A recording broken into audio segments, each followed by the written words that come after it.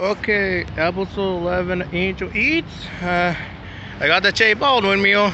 So yeah, I'm in McDonald's, so yeah, I finally got the J Balvin meal. Took a long time, but yeah, it's in here, so.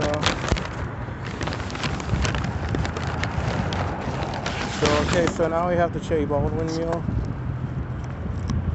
And all it is is just a Big Mac with no pickles. Yeah, there's no pickles on this one. Yeah, just just that. A Big Mac with no pickles. Don't know why J Balvin likes it, but then he does, so we're gonna try that. There's no way I can accurately get this while eating it. Okay. Alright, let's try this. Okay, here it is. Oh crap.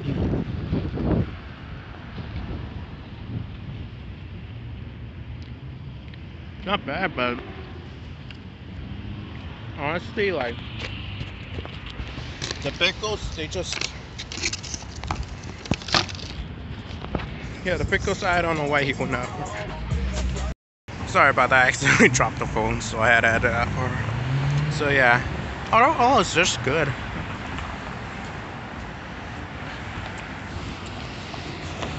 What's it called? Strawberry McFlurry. Try it out.